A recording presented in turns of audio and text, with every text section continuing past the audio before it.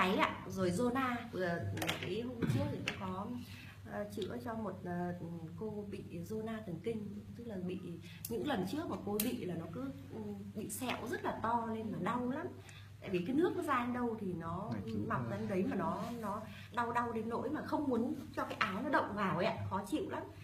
Thì ờ,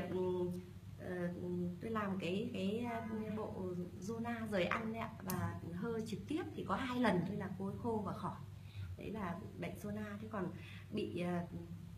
cũng cho ba người một ngày là ba người bị bệnh đau vai gáy cổ không quay được cái này. Tức là cổ nó cứng ấy không quay được thì đầu tiên là ờ, tôi làm trực tiếp là Lăn lăn này rồi xoa dầu sau đó thì là gõ xong rồi cào Ờ, sau đó thì làm cái vùng phản chiếu ờ, 8, 12, 20 ờ, hai bờ vai thế rồi là